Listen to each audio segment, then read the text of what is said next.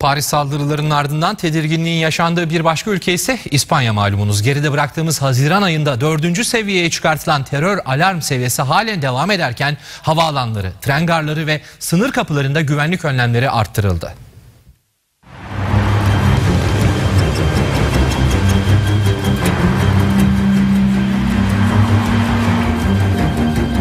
Paris'i kana bulayan saldırıların yarattığı şok ve endişe Fransa'nın güney komşusu İspanya'da da yakından hissediliyor.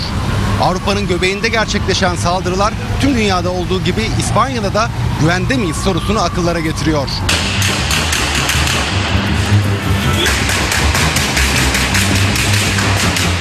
13 Kasım akşamı Paris'te yaşanan terör saldırıları İspanyollara üzerinden 11 yıl geçmesine rağmen hafızalarda hala tazeliğini koruyan Madrid saldırılarını anımsattı.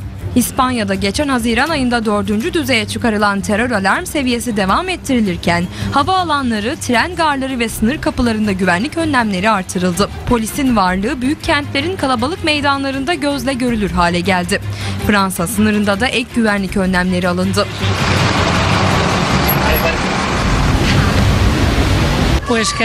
Herkes gibi biz de çok üzgünüz.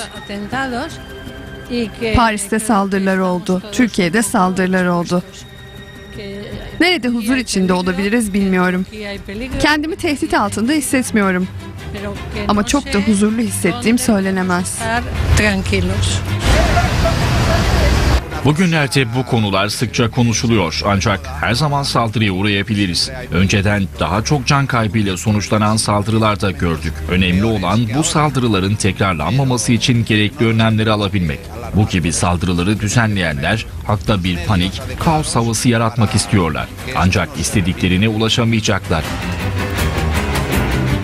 Uzmanlar Paris katliamına neden olan iç ve dış sebeplere dikkat çekiyor.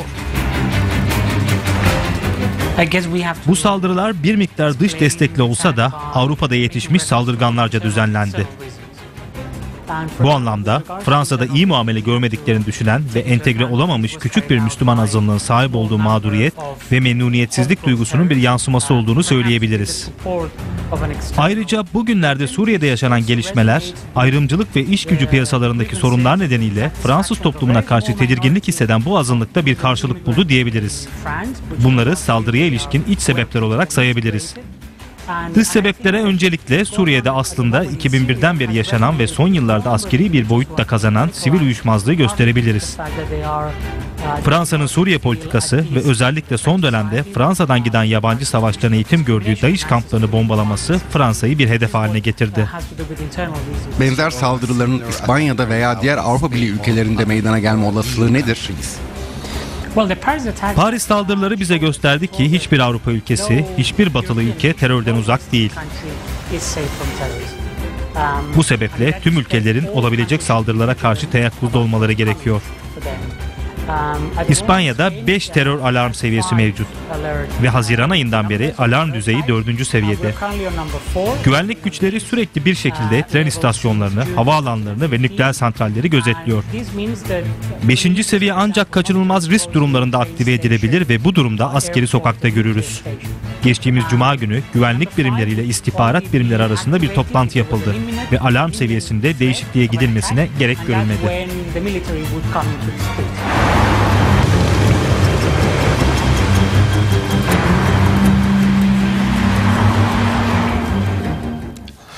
Ve Amerika Birleşik Devletleri Paris saldırı, saldırılarının ardından Amerika Birleşik Devletleri'ndeki cami ve İslam merkezlerinin